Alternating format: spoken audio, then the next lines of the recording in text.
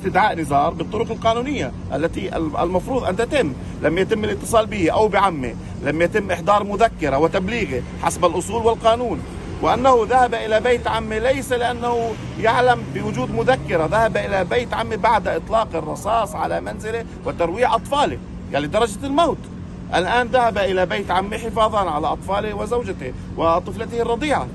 لذلك لم يكن يعلم نزار أصلا بوجود مذكر وفي الحالات السابقة كان يتصل نائب مدير جهاز الوقاية وهذا مثبت بعمه ويقول له نريد نزار ويتم استدعائه للجهاز في هذه الحالة لماذا لم تجري الأمور وفقا للقانون؟ يعني أمام صمت الأربعة عشر عنصرا الآن الرواية آه، منقطعة. من الذي أعطى الأمر؟ الأربعة عشر يقولوا صامتين. بالتالي الرواية هي السائدة. أن نزار تعرض إلى القتل؟ لم يقل أحد شيئا غير ذلك من الفرقة؟ ولم يقولوا أن هناك من أعطاهم أو لم يعطيهم الأمر. بالتالي هم في النتيجة سوف يحاكمون إذا بقوا صامتين.